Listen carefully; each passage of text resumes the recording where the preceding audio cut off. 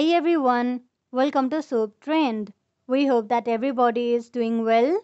We have some interesting news to share with you all in today's video. Today we have come up with the news of our favorite television series Heartland. Do you know where Heartland season 16 is actually being filmed? In this video we will be talking about the filming locations, cast members and many more about Heartland season 16. Do watch this video till the end to know everything.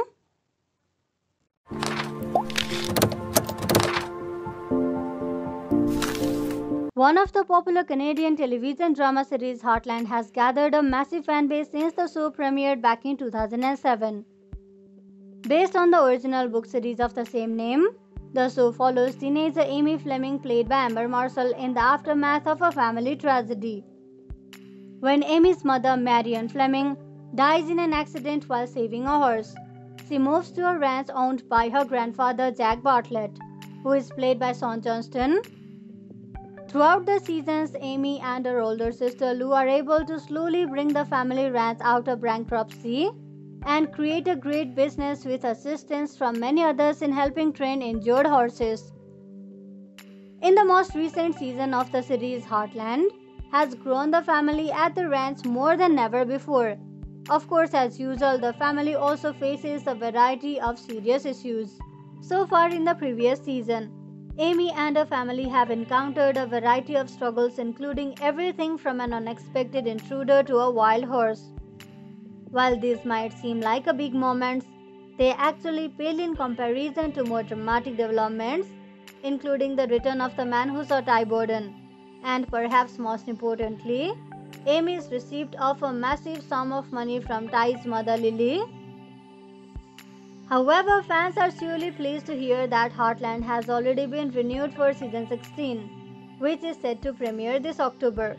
By the time season 16 rolls around, Heartland fans will likely be eager to return to the beautiful town of Hudson, Alberta once more. However, it should be noted that Hudson isn't actually a real town in Alberta. Of course, this begs the question where is Heartland actually filmed? Heartland's Hudson is actually a real town outside of Calgary, unlike some of the movies that will shoot in a completely different location than what is noted in the story. Much of Heartland is based in Alberta, Canada, and actually shot in multiple locations around Alberta. However, given the fact that Hudson isn't actually a real place, some little town had to serve as host to the cast and crew members. Apparently, that's where the town of High River comes in.